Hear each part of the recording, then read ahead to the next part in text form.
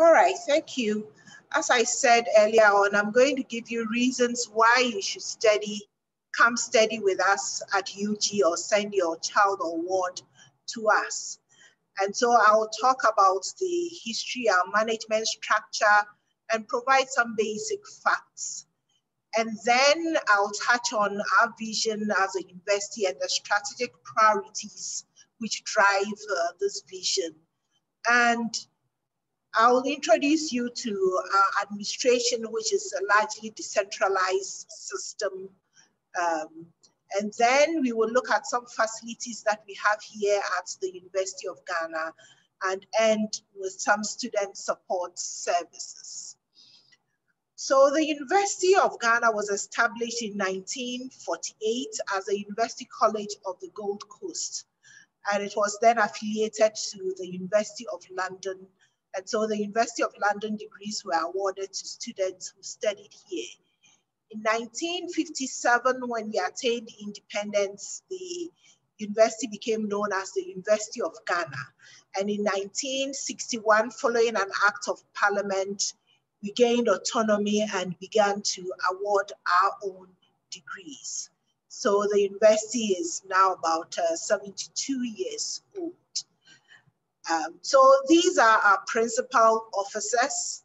So we have the Chancellor, Her Excellency Mrs. Mary Chimbi Hesse, the Chairman of Council, Professor Yaw Twumasi, and the Vice Chancellor, who is the CEO and leads the day-to-day -day administration of the university, Professor Ebenezer Oduro Owusu. I'd like to introduce you to other officers, key officers that we have. So you can see uh, myself, the Pro Vice Chancellor for Academic and Student Affairs. And then we have Professor Felix Ankomah Asante, who is Pro Vice Chancellor with responsibility for research, innovation, and development. And the Registrar uh, who leads or who heads the administration is Mrs. Mercy Haizel Ashie. So some basic facts. Uh, per the Times Higher Education uh, ranking, we are the ranked number one in Ghana. We are number two in West Africa. And because we are so much concerned about internationalization, we partner with uh, 83 institutions around the world. This has to do with student exchange, uh, research, uh, partnerships, and other forms of uh, collaboration. And we, we have these in 27 countries. Uh, some figures from 2016 to 2020, we've had 3,515 students coming to us for various programs, and these students come from 52 countries. So we are quite diverse with regard to our student population. Our vision as a university is to become a world-class research intensive university. And uh, for, for this, we have nine priority areas. I'm not going to talk about all the nine priority areas. I just talk about, uh, or just mention uh, a few. The first one is research, since we uh, intend to become a research intensive university, uh, teaching and learning, uh, gender and diversity, and there we can talk about internationalization, then external stakeholders, and so public engagement and uh, cross-cultural exchange uh, there. The, for, for a number of years, uh, 2016 or 2018, uh, we were ranked number one in West Africa. And if you are familiar with the Times Higher Education rankings, there are five pillars that they consider, including international outlook. And we consistently rank high as far as international outlook is concerned. It tells you how seriously we take our internationalization agenda. Now, the university is organized in four colleges. And so we have the College of Health Sciences, we have the College of Basic and Applied Sciences, the College of Humanities, and the College of Education. Of course, we do have our central administration where you find the Vice Chancellor, the Registrar, the Pro-Vice Chancellors, and also other strategic support units such as the School of Graduate Studies. The Vice Dean is here and I believe he's the one who's going to speak after me. And most importantly, especially for today's program, we have the Office of International Programs, which coordinates our internationalization activities and programs. So I'll introduce you to all the four colleges and give you an idea of the various schools, institutes, institutes and centers that we find in there. So for the College of uh, Health Sciences, we have the School of Medicine. It, uh, until last year was the School of Medicine and Dentistry, but now we have the School of Medicine, we have the School of uh, Dentistry, we have the School of Public Health, we have the School of Nursing and Midwifery, we have the School of Pharmacy, School of Biomedical and Allied Health Sciences. And we have our well-known, world-renowned Noguchi Memorial Institute for Medical Research, also in the College of Health Sciences. Uh, for the College of Health Sciences, uh, a number of the schools are situated here on the Legon campus and others are can be found at uh, our Korle Bu campus where we have the teaching hospital. The College of Humanities is the largest college and in there we find the School of Arts, the School of Law, the School of Languages, the School of Social Sciences, uh, School of Performing Arts, the University of Ghana Business School, and we have a number of centers, which include the Language Center. The director is here with us today. The Legon Center for International Affairs and Diplomacy, the Center for Social Policy Studies, Center for Migration Studies, Center for Gender Studies and Advocacy.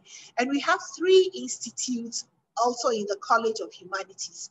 The Institute of African Studies, Institute of Statistical, Social, and Economic Research, at the Regional Institute for Population Studies. We have an Accra City campus which sits in the center of the city and that is also a part of the College of Humanities because the programs that we run there are largely uh, programs of the College of Humanities and a few from the College of Education. So in the College of Basic and Applied Sciences, we have the School of Agriculture, the School of Biological Sciences, the School of Engineering Sciences, the School of Physical and Mathematical Sciences, the School of Nuclear and Allied Sciences, which is a graduate school, and the School of Veterinary Medicine. And uh, we have uh, some institutes and uh, centers. We have the Institute for Environment and Sanitation Studies, the Institute of Applied Science and Technology, the West Africa Center for Crop Improvement, which is quite well known in the continent and internationally, and the Biotechnical Research Centers. We also have three agricultural uh, stage research stations also in the College of Basic and Applied Sciences. Then finally, we have the College of Education, which is the smallest college. We have in there the School of Information and Communication Studies, the School of Education and Leadership, the School of Continuing and Distance Education, and the University of Ghana Learning Centers. Uh, we have these centers in 10 regions out of the 16 regions. And uh, we do have, uh, we run distance education programs in these learning centers. There are a number of facilities that we have at the University of Ghana which are of great benefit to our students. So there are educational facilities, housing, sports, transport, and some general facilities. So let's go see what we have. Uh, educational facilities, we uh, could talk about our lecture theaters, our laboratories.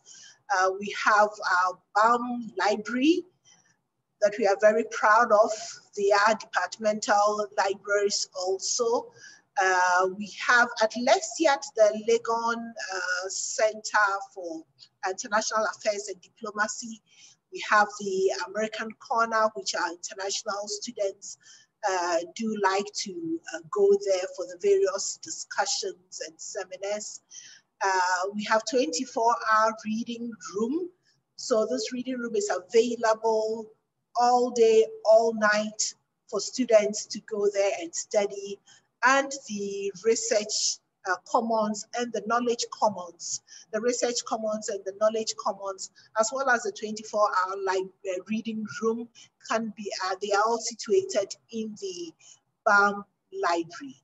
And so here, I think this is coming from the research commons, which is situated in the Balme library. So all of these is intended to support our teaching and learning activities.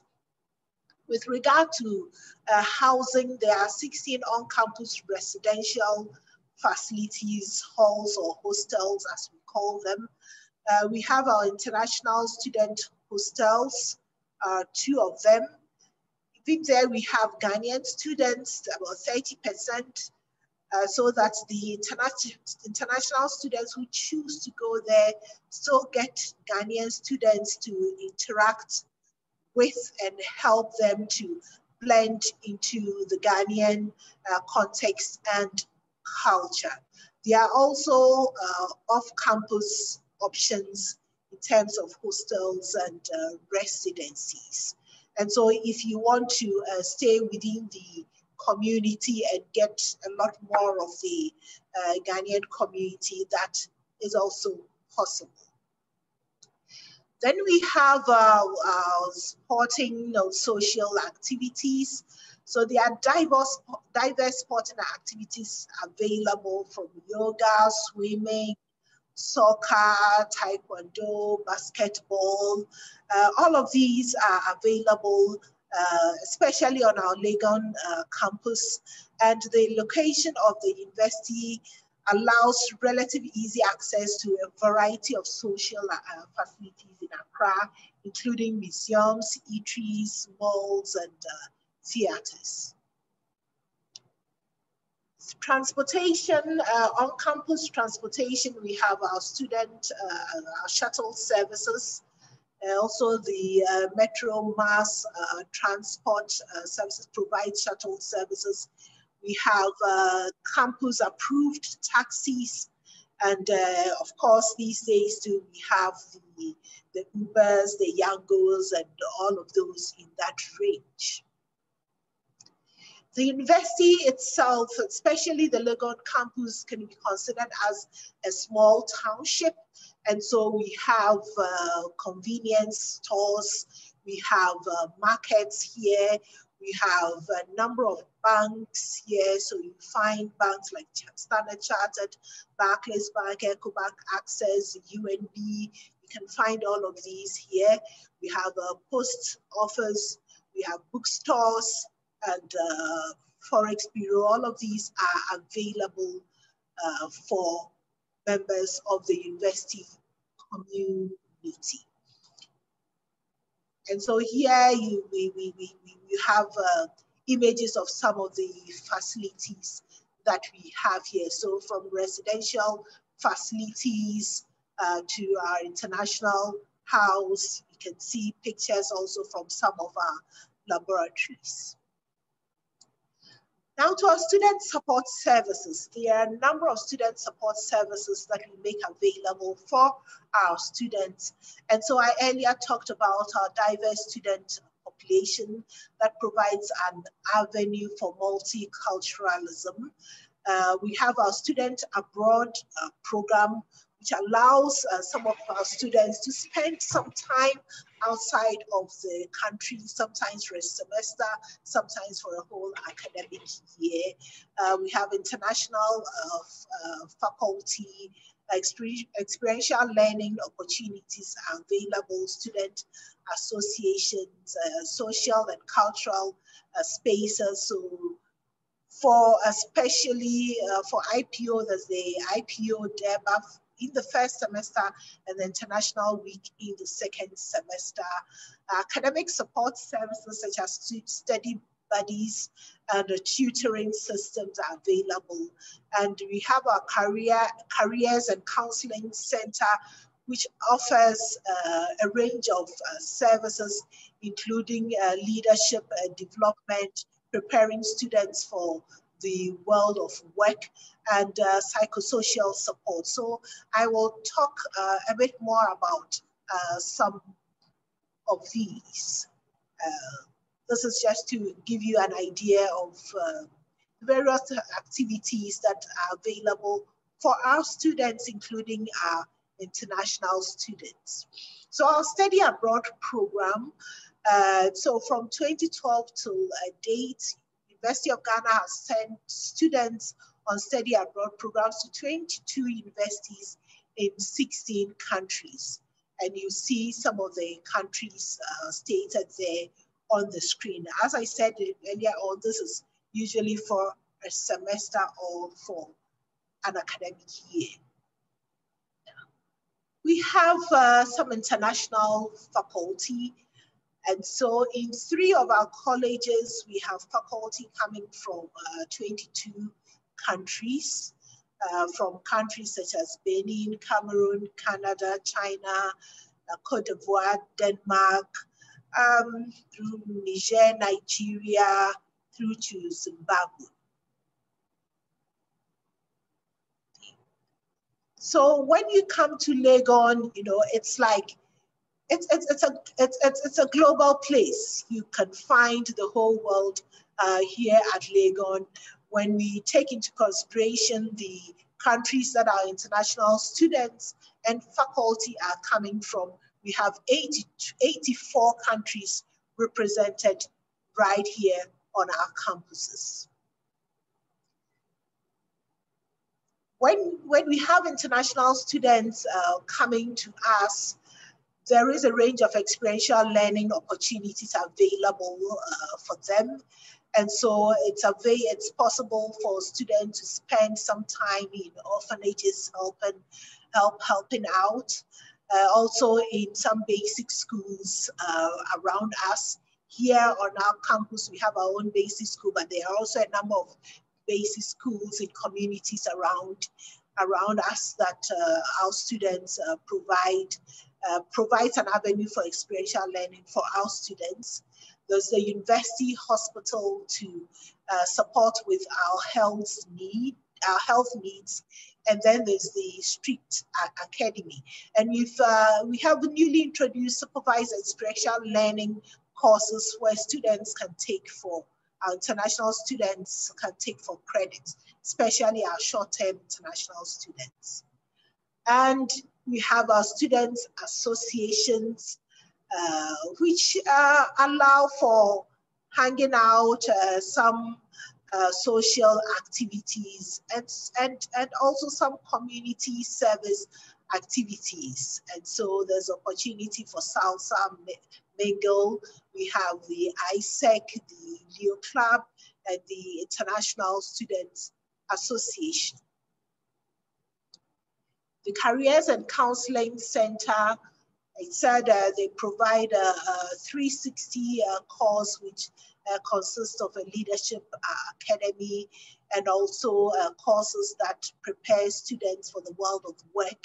And so they, they, they help you prepare uh, your CV, have lessons on other soft, soft skills that we can develop. And they are also available for uh, counseling and uh, for uh, general psychos, uh, social support services relating to issues of anxiety, in campus safety, depression, uh, healthy relationships, self-esteem issues. And they provide um, guidance, assistance on study skills and time management. And so uh, in summary, why should you study at UG? You are assured of quality qualifications, uh, high quality teaching faculty.